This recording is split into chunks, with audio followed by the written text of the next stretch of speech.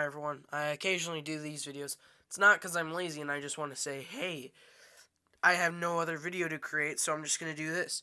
No, it's just I genuinely feel sick, so I did a whole bunch of stop motions, so those will be coming out. Uh, I'm going to wait till my voice sounds a little better. Uh, so yeah, I'm very sick, which always happens to me. But I did want to show off my Prime shield that I'm customizing.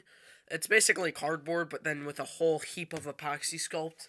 And you may, if you saw this originally, which I may have done a video on it, this is the original base. This was I was going to originally use, but I was like, wait, I need it a little bit bigger. So I just put on another layer.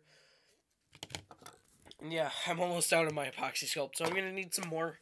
Uh, and uh, I just painted the entire thing silver so that I can uh, put more of the reds and the blues on it and I'm customizing an Ant-Man and making a helmet, and I've decided to make a helmet with the mouth closed in. So, oh, sorry, I am sick, so if I do, like, do that, uh, anyway, I put epoxy sculpt on it so that it can basically be all folded up. I'm going to show a video on that and customizing Captain America. So I just kind of wanted to show this shield because this is probably going to be it until I finish it. But I want to know your suggestions on how Optimus should have it, like should hold it, because he does have a port on the side of his arm where you're supposed to plug it in. But I don't know, because that seems a little too complicated for me, only because I'm going to have to measure it out and do all that stuff. And sorry if I'm like leaning down and you're seeing my cabinet. Uh, I was just sick. uh, anyway, so yeah, I just kind of want to show it. Um, this epoxy sculpt for some reason is just not drying, which is really weird. Uh, all the paint has dried, so I'm gonna start painting it in a while, and then I am going to obviously uh gonna show this off in its own video. I just kind of like updating you guys on customs just because they take a while, but some of my favorite YouTubers update people on customs every week, every couple while. Actually, I'm gonna. I'm thinking about how I have to do this because. Sorry, I just decided that I kind of want to make a video.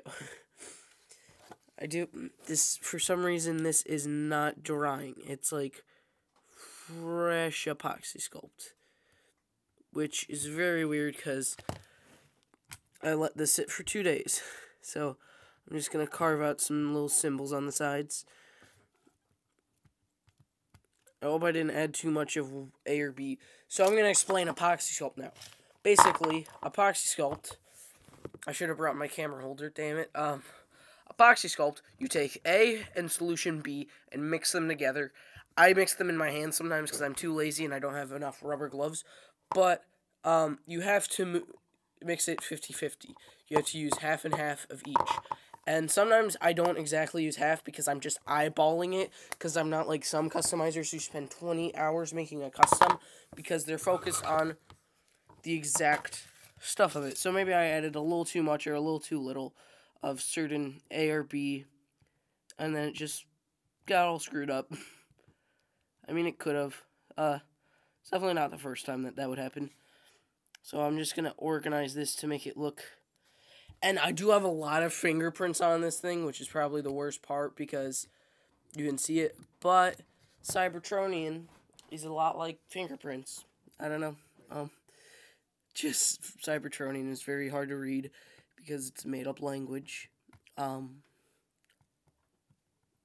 yeah. so sometimes uh, when you're customizing, you have to make sure that everything's dry. I did not realize that this wasn't dry when I painted it and right now I'm like, oh damn, it's not dry. and so uh, it hasn't fully uh, finished where the rest of it really has. I mean, even some of it that I applied yesterday did fully finish. So I'm probably going to update you guys within a day or two uh, about this because I'm going to work on it right now and then I don't think I'm going to work on it in front of you guys right now. I'll just show off what I do. Oh, I'll show off my paints. I'll show off what paint I use because I got this question from a couple of my friends. I use this uh,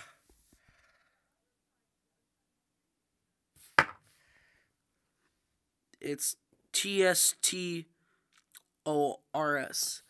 Testoros. No, I don't know.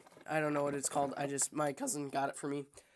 Uh, by the way, I recommend getting shapes like this because this really helped while I was. I got this weird shape thingy. It's from like some fast tape. Um, and I just kind of held it there and then I shrunk it down so that it looks a little smaller for the um, whole thing. Uh, for the center little compartment thingy, which Optimus has. I don't know what that's for. Um, uh, by the way, someone said, "Hey, that if you kind of want to, you could make this a Millennium Falcon." I was like, "Actually, I could." Um, I mean, I could, totally could. Just kind of like fudge it a little bit. Oh, I am painting a Spider-Man, so he has to dry. So yeah. Anyway, um, yeah, I I like doing these customizing videos because some of you may not know how to customize like me, and I'm sort of learning along the way. I'm not a really good customizer. Um, I'm not really, uh, but I do enjoy it quite a bit. So, if this does help you, that's fantastic. Um, only because, really, when it helps, hey, I mean, I learned from Glenn Webb because he did a whole bunch of videos on it. Just trying to fill out some of the gaps. Um, but anyway, Glenn Webb, I kind of learned customizing from him. He showed me how. He told me the way. Um, no, he does these customizing lives videos. Um, and I watch them a lot. And I even built that building.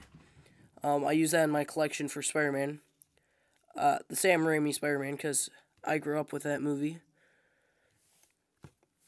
Oh, I remember when I first saw it. Ooh, that was fantastic.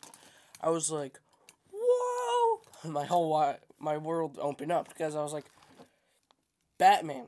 That's the only superhero that I really knew. Well, and Superman, because those both own the market for years, and now Spider-Man and Iron Man own the market.